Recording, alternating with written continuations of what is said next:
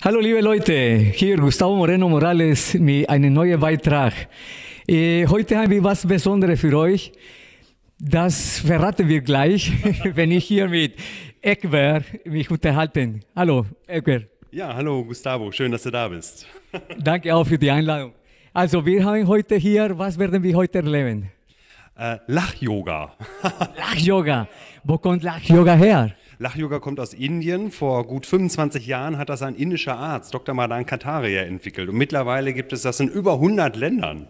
Als ich zum ersten Mal von Lach-Yoga gehört habe, war ich in einer Reha-Klinik. Äh, ich hatte nicht die Stimmung, um einfach so an einen Lach-Yoga-Kurs teilzunehmen. Glaubst du, dass das hilft auch Leute, die in solchen Situationen sind?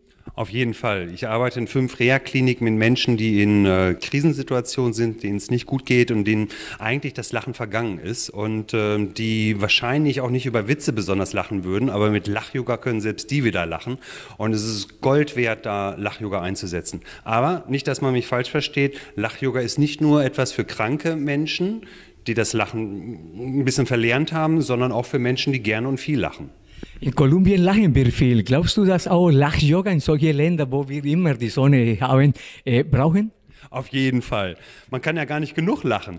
Und die Leute, die dem Lachen so ein bisschen näher sind, die lachen vielleicht noch eher und viel leichter. Und ich kenne Kollegen, äh, die sehr erfolgreich in Mexiko zum Beispiel arbeiten, in Venezuela, in anderen südamerikanischen, mittelamerikanischen Ländern. Und ja, auch da gibt es Lach-Yoga. Zurzeit, die Leute sind immer so traurig, so, gehen viel auf der Straße, weil die Katastrophe, die jetzt wir erleben, so mit dem äh, Klima. Äh, wie kann Lach-Yoga da einen Beitrag leisten? Ähm, natürlich gibt es viele Dinge im Leben, die ernst sind, die nicht zum Lachen sind. Die gilt es halt auch zu beachten ähm, und etwas dafür zu tun. Aber trotz und alledem ist es wichtig, eben zu lachen, auch wenn manche Dinge auf diesem Planeten nicht rundlaufen. Ein gutes Beispiel dafür ist der Dalai Lama, der erzählt ganz ernst über wirklich sehr schwerwiegende Themen. Und was macht er dann anschließend? dann lacht er drüber. Ja. Ich merke schon, das ist ein Stecken. Ne?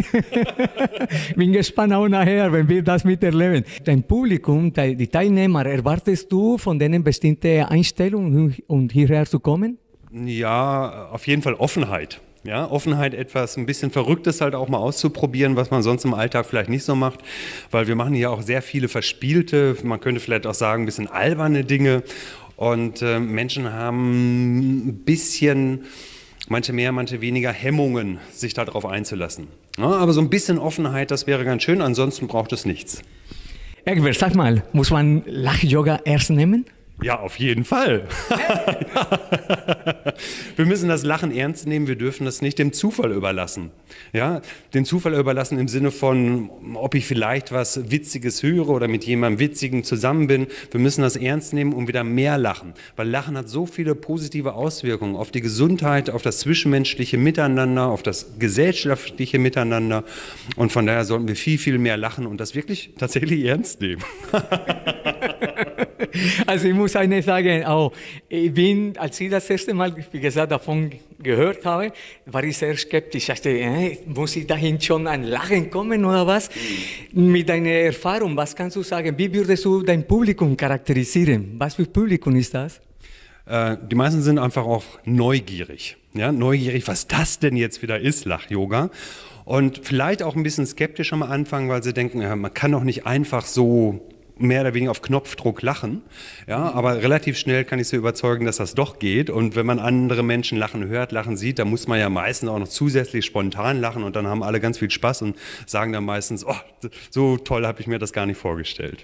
Äh, als letzte vielleicht hast du eine Botschaft an das Publikum, wer noch nicht das kennt zum Beispiel.